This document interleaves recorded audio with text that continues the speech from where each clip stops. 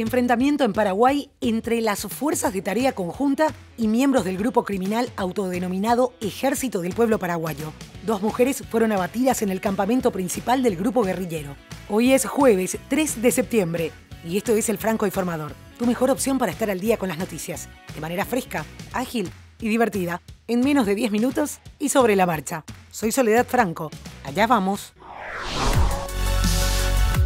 El presidente de la República del Paraguay, Mario Abdo Benítez, anunció que dos integrantes del autodenominado Ejército del Pueblo Paraguayo fueron abatidos en una operación de la Fuerza de Tarea Conjunta en el norte del país. Se trata del campamento principal del grupo armado donde se encontraba el núcleo principal. Todos los líderes lograron huir. Hallaron armas, paneles solares, tabletas y otros equipos de comunicación.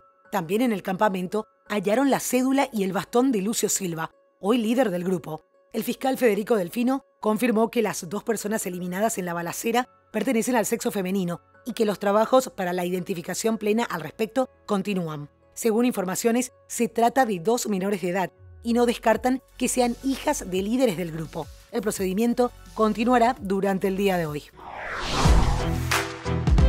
Nos vamos hasta Brasil. La Corte Especial del Tribunal Superior de Justicia determinó este miércoles suspender por seis meses a Wilson Witzel de su cargo como gobernador del estado de Río de Janeiro. Él y su esposa son investigados por presuntas irregularidades en el manejo de fondos públicos en la gestión para combatir la pandemia del coronavirus. Además de separar del cargo al mandatario regional, la justicia ordenó la captura de 17 personas vinculadas con la red de corrupción, entre ellas funcionarios públicos, políticos y empresarios.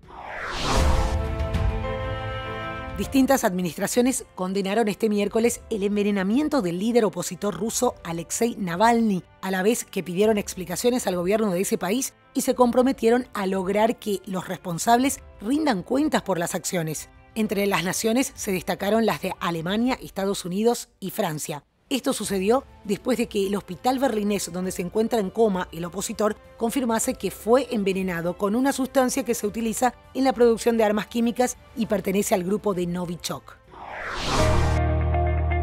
Todos estamos esperando la vacuna y puede ser que Estados Unidos tenga esta antes de lo previsto. Al menos eso afirmó el doctor Anthony Fauci, miembro de la Fuerza Especial de la Casa Blanca contra la pandemia. En una entrevista con el sitio Kaiser Health News, el principal experto en infectología de Estados Unidos afirmó que muy pronto se puede tener la vacuna contra el coronavirus. Los Centros para el Control y la Prevención de Enfermedades notificaron a los funcionarios de salud pública en los 50 estados y las cinco mayores ciudades que se preparen para distribuir una vacuna contra el COVID-19 a fines de octubre o principios de noviembre. Los primeros en recibirla serán los trabajadores de la salud y personas que formen parte de grupos de alto riesgo. Quiero hacer una pequeña pausa para decirte que este podcast es producido por La Podcastera desde ahí pueden ayudarte a crear tu propio podcast. Si además de escucharlos querés que te escuchen, si tenés algo importante que comunicar, si sos experto o experta en tu área, podés tener tu podcast y transmitir tus conocimientos, vender tus productos o servicios al mundo entero. Podés contactar a lapodcastera.gmail.com en todas las redes sociales también y solicitar una asesoría gratuita por ser oyente del Franco Informador. Dicho esto, seguimos. La semana anterior, el mundo del entretenimiento se conmocionaba por la muerte de Chadwick Boseman, el actor que dio vida a Black Panther en el universo cinematográfico de Marvel. Ahora fue Fortnite, el Battle Royale más popular del momento, el que rindió homenaje a Boseman. Desde el pasado 1 de septiembre es posible encontrar un impresionante monumento a Black Panther en el mapa de Fortnite. El presidente de la Confederación Brasileña de Fútbol, Rogerio Caboclo, informó que se equiparó el valor de los viáticos o dietas que perciben los hombres y mujeres que son convocadas para jugar en las selecciones. No hay más diferencia de género. La CBF trata a hombres y mujeres por igual, aseguró Caboclo en una rueda de prensa.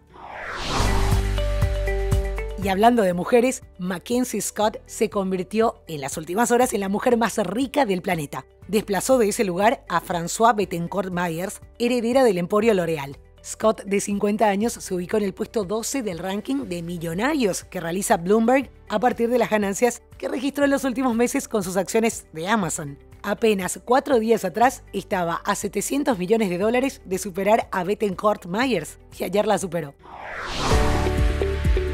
Diversos portales web como NME han confirmado que la plataforma de Netflix se encuentra trabajando en la producción de un nuevo documental sobre el festival Woodstock realizado en 1999. En un informe compartido por Deadline, afirman que la idea de este documental es profundizar en la cultura que creó Woodstock 99 y presentar imágenes y entrevistas nunca antes vistas.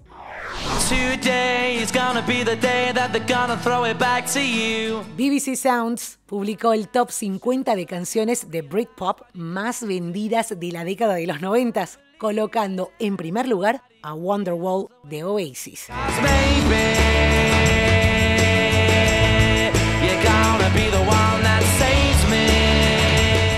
Los datos suministrados por la BBC, la canción vendió al menos 1.4 millones de copias hasta la fecha.